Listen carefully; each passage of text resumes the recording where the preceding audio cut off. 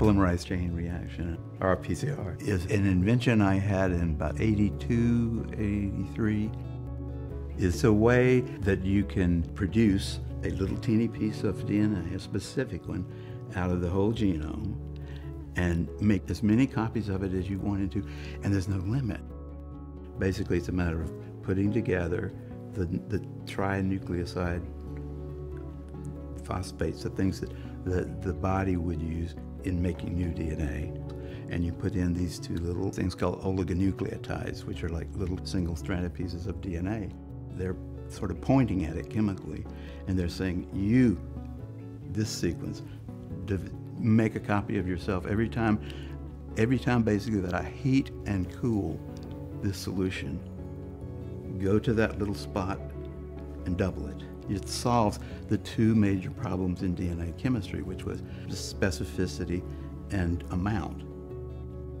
In 75, people had just discovered this, this the molecular cloning, where you could isolate a, a, a DNA sequence and you could put it in a, in a bacteria, and you could make more and more and more of it. People thought about cloning as almost a miracle, but it took a long time. It would take a lab like mine, say, six months probably. It was such a neat, new, and exciting and spooky thing that nobody was looking for a quick way to do it people thought, well, we're going to have to get along with the fact that DNA is a very vital thing that we all want to know about. You have a lot of it in total, but any one part of it, you'll never have enough to make it convenient to study. I was driving to Mendocino in the middle of the night, and I was, I was just cruising along in my patterns of thought. And out of that, the concept of PCR became just obvious to me it was something I already knew how to do in my lab. I, it was a matter of heating and cooling a tube, you know. The first notion I had was just stop. And I stopped right in the middle of the road. And I said, wait a minute, somebody's going to come along here and hit you.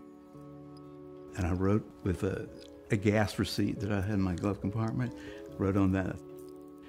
And it was just so ridiculously simple that it took me a long time uh, to really say, well, this would actually work. The next morning, fairly early, I went out to Jack's Valley store and bought a couple of bottles of red wine and, and drank them before I could go to sleep. It was a joyous kind of feeling, but it was also, I just doubted that it really would work. There's got to be, any minute now, I'm going to see what the problem is here.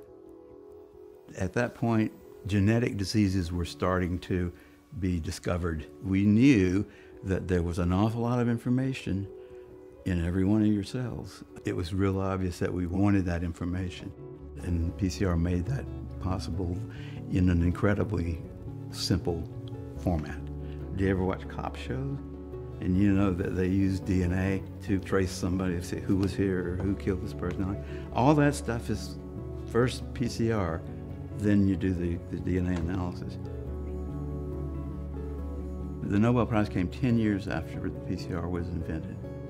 It was a phone call one morning, you know, early in the morning, and I, I thought somebody was joking.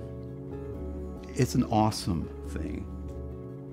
I probably was too young to really appreciate the awesomeness of it, but it, it was fun. Uh, they know how to put on a show. My mother came up to the front of the auditorium and like hugged me. She definitely was moved by the fact that one of her boys had got the Nobel Prize. you know, I, I didn't think of myself prior to that as really caring all that much about what the world thought of me.